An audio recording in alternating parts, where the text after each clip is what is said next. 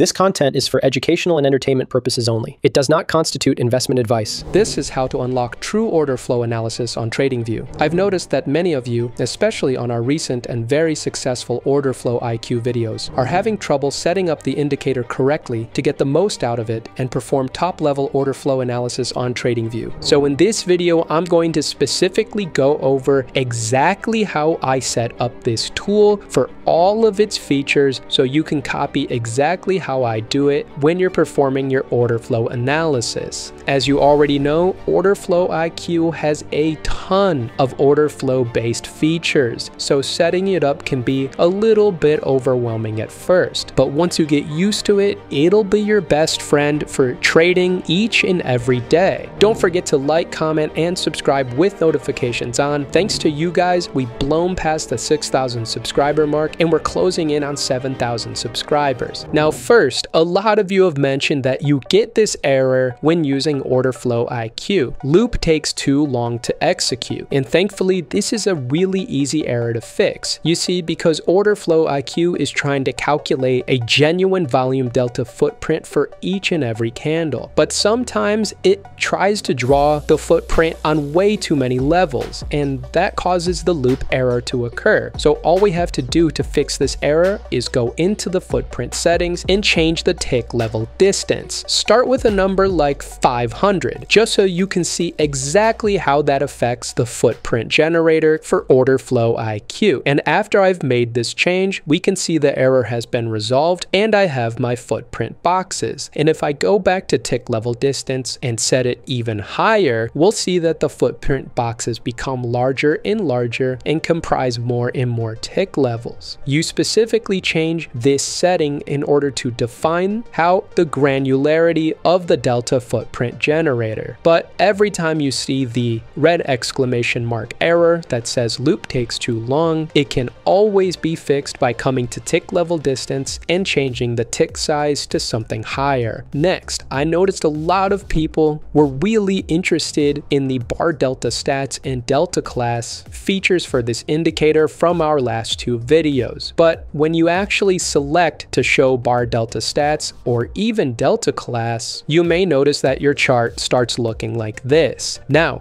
in order to view this information correctly, all we have to do is come up to the indicator name here in the top left where it says Trading IQ, Order Flow IQ. Click the three dots and find the option that says Move to. Hover over this option and select new pane below. And once you do that, you'll have full access to all of the bar delta stats or delta class stats so you can perform the highest level of order flow analysis. If you want to also have the delta class indicator preset active, simply click the indicator name again, select the three dots and hit copy or control C. And once you've done that, go back up to the main chart where your candlesticks are, right click and in this list of options, find where it says paste or control V and go ahead and click paste. And once you do that, you'll have the exact same order flow IQ indicator with the same settings on your chart again. And what we'll do is go back to the three dots for the new order flow IQ indicator we just pasted, hover back over the move to section and click new pane below once again. And once we do that, we can see we have the same information duplicated on our chart. But what's important here is that we take one of these order flow IQ indicators, hover over their name, click the settings button again, and go to indicator preset. And for this specific order flow IQ instance, we're going to select Delta class. And voila, once we've done that, we now have all the information presented to us for the bar Delta stats, and we have all the Delta class information presented to us on a different chart pane. So we can see the CVD by USDT order size as well as the bar delta stats. And finally, you can copy order flow IQ again from the three dots click copy, right click your main chart, and then click the paste button, and order flow IQ will be back on the main chart. And from here, you can come back to the indicator presets and select either on chart or IQ volume profile. Please note that live delta class lines and CVD will both go in their own pane, just like the bar delta stats do and the delta class indicator. So I'll select on chart for now. And once I've selected on chart, you can see that I now have my footprint generation, order feed, my delta class statistics panel, and my delta stats statistics panel, allowing for the highest level of order flow analysis on the entire platform. If you want to eventually add the IQ volume profile or live delta class lines or CVD, you can follow this exact same process where you have multiple order flow IQ indicators on your chart using these different indicator presets. Oh, and if there's anything else you want to see added to order flow IQ, let me know in the comments section below or join our Discord server and post in one of our channels about what you want to see in order flow IQ. And after I have this setup done, I can crank up the IQ volume profile, CVD, delta class lines. I can choose to have my delta footprint be calculated as CVD, change the imbalance percentage and stacked imbalance count. There's so much to do with order flow IQ. It's truly an